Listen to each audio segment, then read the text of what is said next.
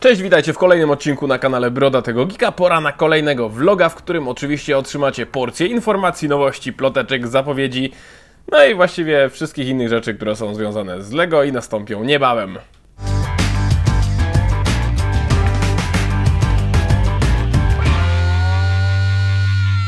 Ale zanim przejdę do tego, o czym mówiłem przed chwilą, no to myślę, że taka ważna informacja, bo ostatnio jak robiłem recenzję y, tej bramy wjazdowej do Parku Jurajskiego, to bardzo Wam się ten zestaw spodobał, więc stwierdziłem, że pójdziemy dalej w tematy jurajskie i już niedługo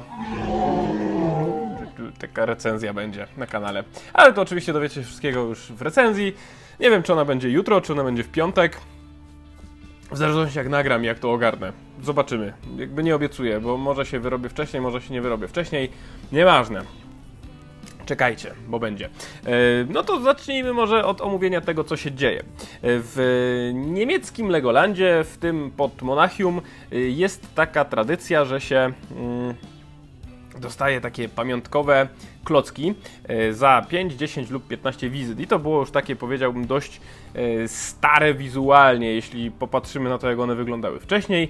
No i w końcu zaprojektowano nowe wersje. No i teraz będzie tak, że za 5 wejść dostanie się taki e, upominkowy klocek z panem, który jest takim chyba maszynistą, za 10 z rycerzem w bardzo takiej zdobnej zbroi, spoko sprawa, no i za 15 z panią piratką, więc jeśli gdzieś tam na południu Niemiec mieszkacie i macie możliwość wykupienia takiego annual passa, to chodźcie sobie do tego Legolandu i będziecie dostawali takie właśnie pamiątkowe klocki. To jest na pewno spoko sprawa, bo jest to rzecz dość, powiedziałbym, mocno limitowana.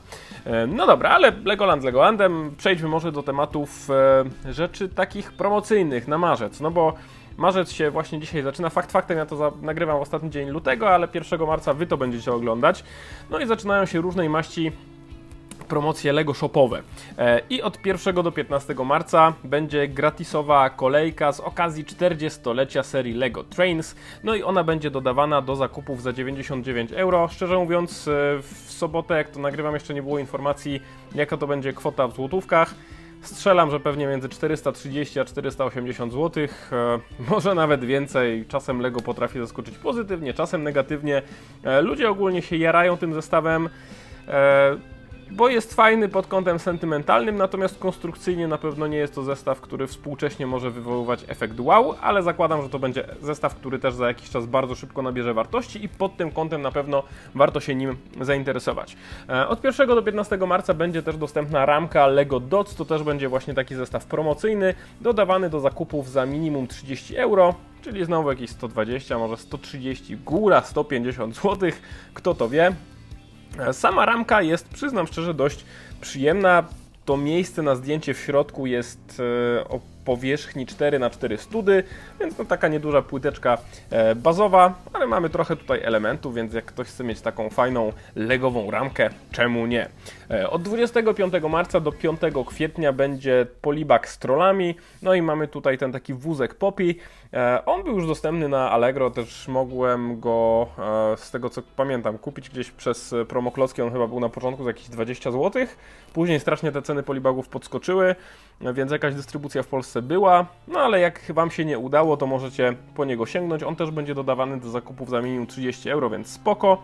E, do zakupów z kolei za minimum 55 euro od 23 marca do 13 kwietnia będzie dodawana pisanka.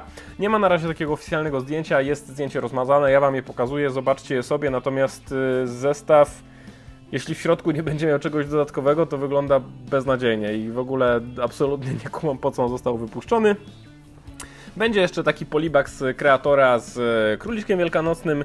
Od 25 marca do 13 kwietnia za minimum 30 euro, więc trochę tych zestawów będzie. I ciekawe czy będzie w pewnym momencie takie kombo, że za jedne zakupy na przykład możemy dostać 3-4 gratisy, bo Pamiętam, że tak było w ubiegłym roku przy okazji mm, zakupu zestawów z Disneya, gdzie e, zrobiło się combo e, tej rakiety z Ideas malutkiej i wieży Avengersów z tą limitowaną figurką Ironmana i wtedy na przykład kupując porowiec Willy coś tam jeszcze, dostawało się dwa gratisy, które były naprawdę wartościowe, bo ta rakieta wtedy już chodziła za minimum 60 zł, wieża za stówkę, a teraz chyba jeszcze bardziej podrożały, więc czasem naprawdę te zakupy w Lego Shopie są opłacalne.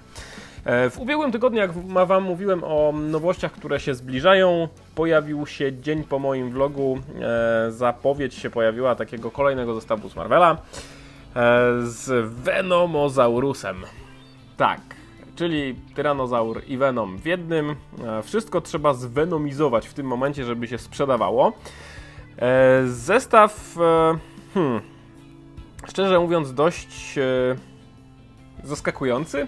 Nie wiem, na pewno największym atutem tego zestawu jest minifigurka Spider-Hama. Mamy tam jeszcze zwykłego Spidermana, mamy Iron Spidera i mamy Venoma, no i oczywiście tą dużą konstrukcję e, Tyrannozaura w wersji takiej właśnie symbiotowej.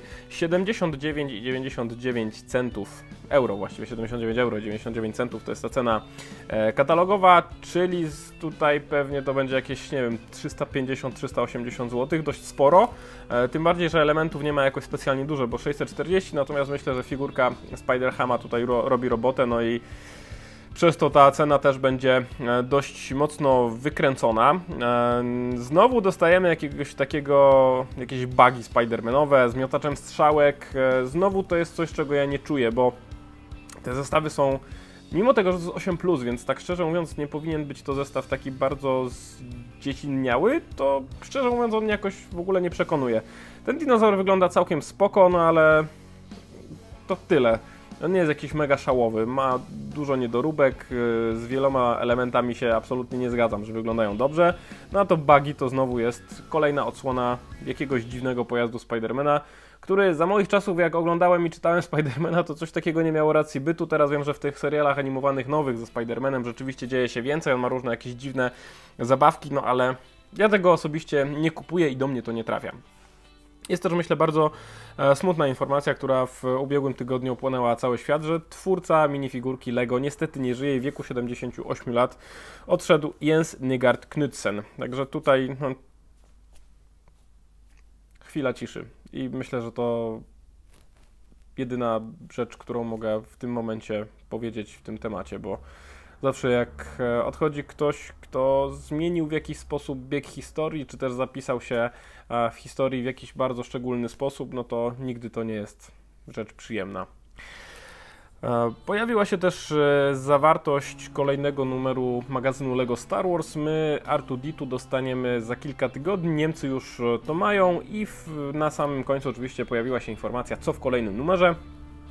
No i będzie to Sith Infiltrator i szczerze mówiąc, e, kurczę, nie wygląda dobrze. 34 elementy e, za taki nieduży statek, który no jest mech, no znowu można jedynie ten magazyn kupić tylko po to, żeby zebrać sobie po prostu garstkę klocków, bo absolutnie nic szałowego tutaj nie dostrzegam. Um, I coraz bardziej się zastanawiam, czy wydawanie magazynu LEGO Star Wars z takimi dodatkami, z taką zawartością ma jakiś większy sens, bo też nie wiem jak one się sprzedają. Musiałbym e, zerknąć sobie na jakieś wyniki sprzedaży, ale wydaje mi się, że po prostu absolutnie nie opłaca się tych magazynów kupować z takimi dodatkami, bo jeśli dostajemy jakąś figurkę, czy to będzie Artuditu, tak jak w następnym numerze, czy jakaś inna postać, e, cóż z tego, że one pojawiają się w ogromnej ilości zestawów, ale po prostu jest to jakaś większa wartość, aniżeli garść klocków, które możemy sobie kupić za kilka złotych i złożyć taki statek. E, a to jest taka zawartość, jak dostajemy choćby w kalendarzu adwentowym, że ja te okienka, w których są jakieś działka, jakieś miniaturowe pojazdy, no ziewam przy nich strasznie, bo to nie jest nic atrakcyjnego. Ale jeśli lubicie zbierać takie miniaturowe wersje statków, absolutnie nic mi do tego. Nie mam prawa Wam e, zabraniać tego. No i też dzisiaj, w sensie jutro jak ja nagrywam, ale dzisiaj jak oglądacie jest premiera e, tego zestawu z Creator Expert z Fiatem 500. No i dostaliśmy więcej zdjęć, była premiera, był live i to wszystko się działo w sobotę, w ostatni dzień lutego. No i mm, jest już informacja, że on będzie w Polsce kosztował 389 zł 99 groszy. Już też widziałem, że Lego Store na Instagramie rzuca informację, że od poniedziałku będzie dostępny, no bo jest niedziela niehandlowa, więc w tym momencie w niedzielę nie można go będzie kupić. E, ale wygląda kurczę całkiem ok. Nie jest jakiś mega super wow, ale podobają mi się dodatki. Bardzo fajnie wygląda ten e, obraz z Fiatem 500, który stoi sobie na sztalugach. Bardzo ładnie też wygląda ten kufer przypięty z tyłu. E, I są takie perspektywy, z których ten model bardzo mi się podoba. Są takie, z których podoba mi się umiarkowanie, ale ogólnie rzecz biorąc jest całkiem spoko. Fajnie jest e, z tyłu otwierana, otwierana klapa. Mamy tutaj też masę właśnie tego wyposażenia, możemy sobie też talugi złożyć, wepchnąć do środka, do tego samochodu, tak na hama wręcz. E, no i spoko. W środku też e, ta kierownica wygląda tak całkiem ok i rzeczywiście wykończenie może się podobać. Nie jest to może ten poziom, który był w przypadku Mustanga, bo ten zdecydowanie był wow, świetną konstrukcją, ale nie jest źle i myślę, że też wielu nabywców ten model znajdzie. No i zobaczymy też, e, ja myślę w, w ciągu najbliższych miesięcy, czy, czy będzie na niego dużo promocji, to też wtedy pewnie będzie się można łatwo przekonać, e, czy rzeczywiście efekt wow został wywołany, czy raczej to wow było umiarkowane. A na dzisiaj to tyle, dzięki, cześć!